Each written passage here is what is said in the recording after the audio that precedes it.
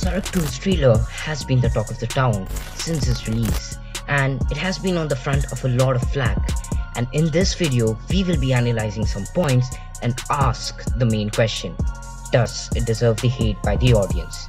If you want to skip to one of the timestamps then you can do so. But before starting do subscribe to my channel and like this video which would help me as a small creator. So let's begin first part of the trailer did intrigue me, but when it switched to its nonsensical plot, I knew I would not be watching this movie.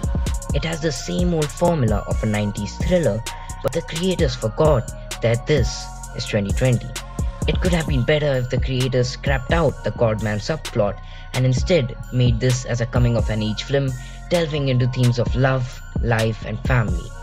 Although it's fair to say that the music of this movie, judging by the trailer, will be its only positive point, which was also the case in the first Sadak.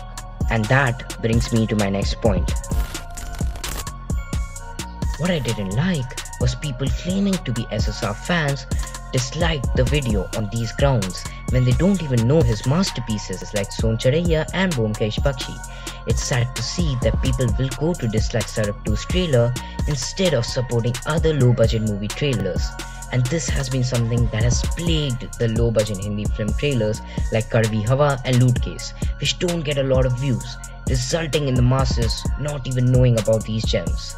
And even if you dislike Sadak 2's trailer, it won't do anything good because in turn, the engagement on that video will increase, no matter if you like or dislike it, which brings me to the main point of this video. Well, it does deserve the backlash and by what I've seen so far has not really impressed me, so I will be skipping this movie. It appears as a very big plot mess, but disliking it won't do anything good, because good or bad, publicity is good in any way. And at the time of this recording, Sadak 2's trailer currently stands at number 1 on the YouTube trending page. So if you don't like something, just don't watch it. Don't create a toxic nature around you.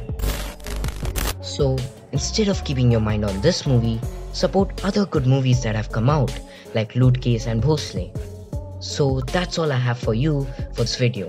I know this video is a little short, but my next video will be about writing, which will drop next week. So stay tuned for that. Do hit the like button if you like this video, subscribe to my channel and comment down your thoughts about the trailer. And I will see you guys in another video. Goodbye.